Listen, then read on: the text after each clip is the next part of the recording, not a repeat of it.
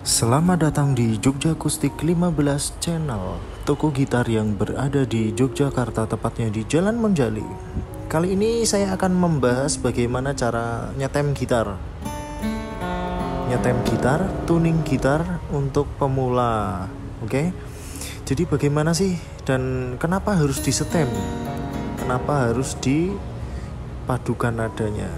Jadi kita ada beberapa metode. Yang pertama nanti pakai tuner yang sudah ada di gitar. Jadi ini nanti enak banget ya. Yang selanjutnya pakai tuner yang ada di aplikasi handphone. Dan selanjutnya nanti pakai feeling atau pendengaran, oke? Okay?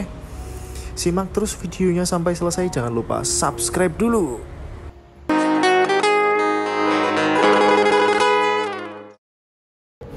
Apa yang dimaksud dengan stem gitar?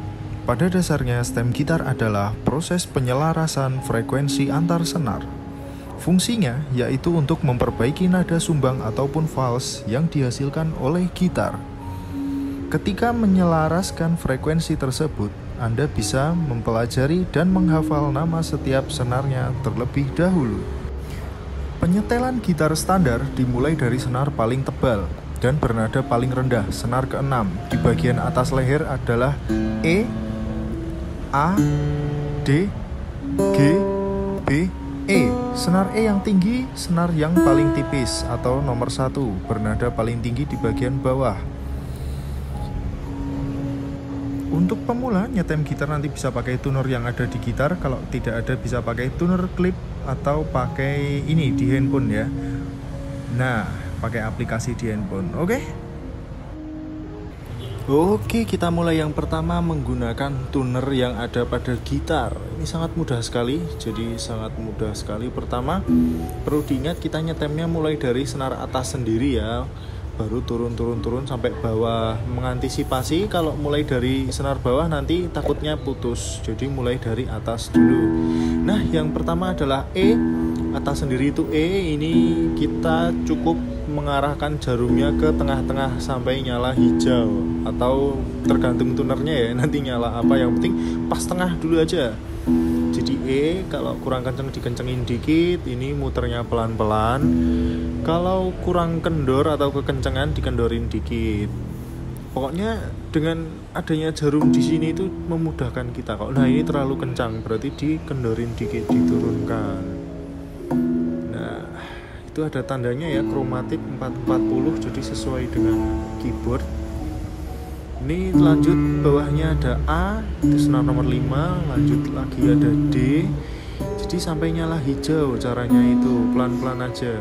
Bawahnya lagi senar 3 ada G. Nah itu G. Kalau sudah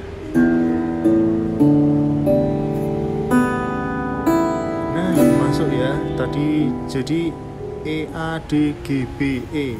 Lanjut kita pakai tuner yang ada di handphone.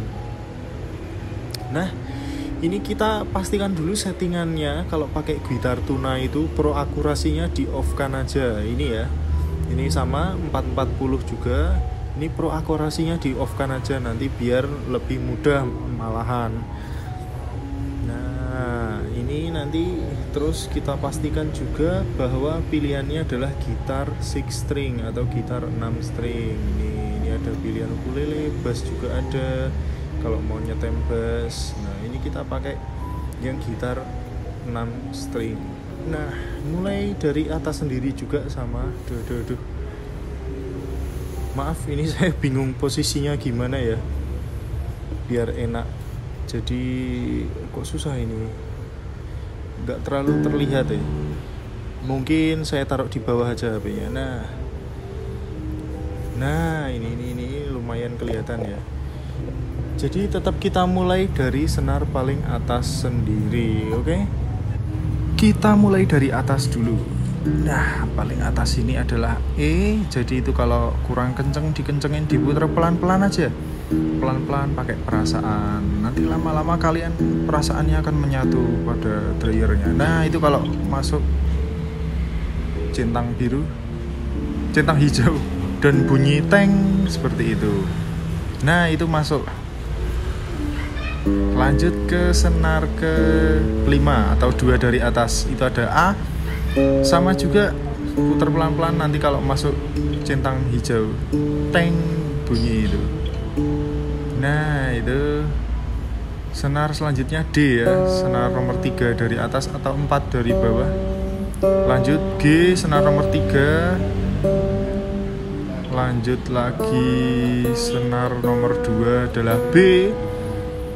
Lanjut lagi senar paling bawah nomor satu itu E. Senar paling bawah paling kecil itu E. Uh, sangat takut sekali saya juga kalau muternya nah. Duh. masuk kan? Jangan lupa kita cek-cek lagi ya. Jadi apalagi senar baru atau gitar baru itu nggak mesti di sekali stem itu langsung stem. Jadi kita harus cek-cek lagi. Karena dia masih mulur. Oke cek satu-satu cek satu-satu apakah sudah pas belum? Dicek lagi dari atas. Emang kalian harus sabar ya. Nah seperti ini hasilnya kalau sudah masuk semua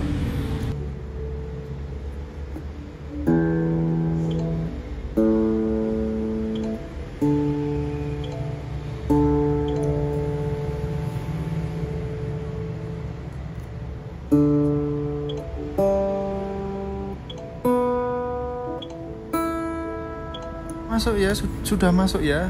Mantap. Jadi kita cek dengan intro legend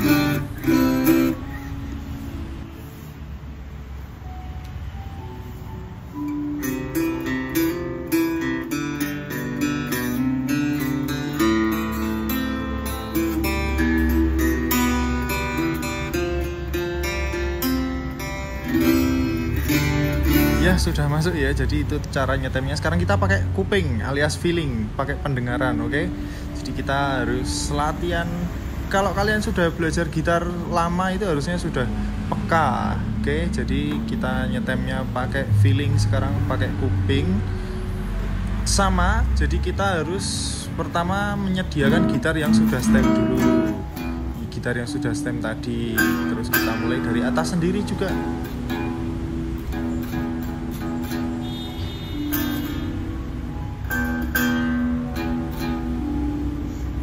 Nah, kalau sudah masuk lanjut ke senar 2. Lanjut lagi.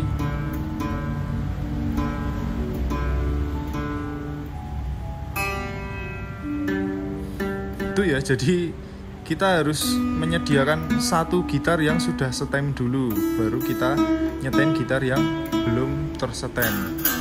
Jadi itu buat contoh atau menggunakan fret. Nih fret kelima. Jadi kita stem dulu senar paling atas. Kalau sudah stem baru kita tekan di fret 5 disamakan dengan senar bawahnya. Sudah sama atau belum? Seperti ini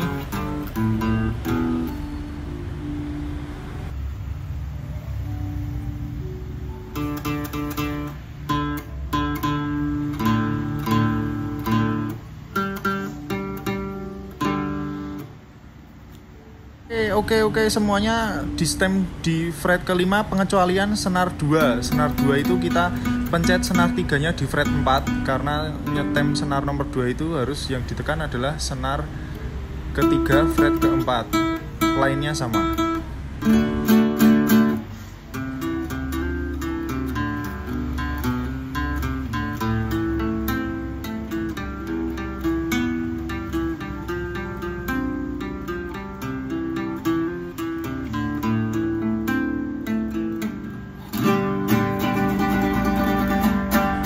Oke, itu tadi sedikit cara dari kita cara nyetem gitar untuk pemula. Kalian lebih suka yang mana? Pakai tuner, pakai tuner HP atau pakai kuping alias feeling ya? Silakan komen kalau yang belum yang bagi yang belum paham boleh komen juga nanti biar kita perjelas lagi atau jangan lupa subscribe dan salam genjreng.